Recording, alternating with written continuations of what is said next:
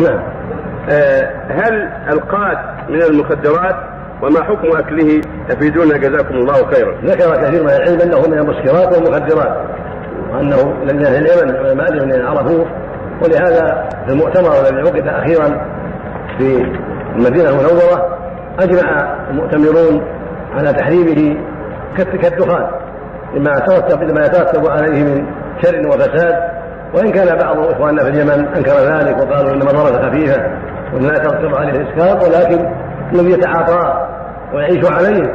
قد لا يحس بشره وفساده وقد يصب عليه الاعتراف بشره وتحريمه.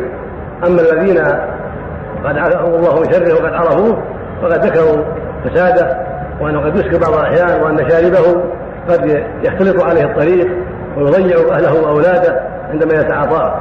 علاوة على ما يترتب عليه من تعطيل الأعمال وبقائهم مخزنين مدة طويلة يخزنون ويبصقون ويأخذوا مدة طويلة ومعطلون بسبب تعاطي هذا البلاء نعم.